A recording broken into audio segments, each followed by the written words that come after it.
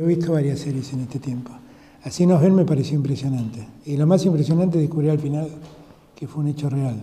A los que nos gusta la música hay, un, hay una serie que se llama The Eddie, T-H-E-E-D-D-I-E, The Eddie, que habla de un club de jazz en París y de ese mundo underground, que es maravillosa.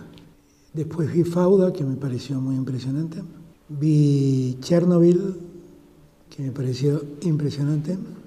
Y después, los que quieren algo más liviano,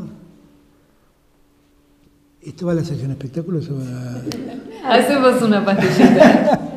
los que quieren algo más liviano, los que quieren más liviano, hay dos cosas muy distintas, pero lindas para ver. Una, una serie que tiene ya dos temporadas, con Michael Douglas que se llama El método Kominsky. Y después la de, la de Sebastián Wanreich, que es muy linda, es muy costumbrista, es muy linda. ¿Y tiempo para leer algo te queda? Estoy terminando de leer Aramburu, de María Donel. Y me regalaron un libro de poesía de Bukowski que me gusta mucho y también lo leo de tanto en tanto.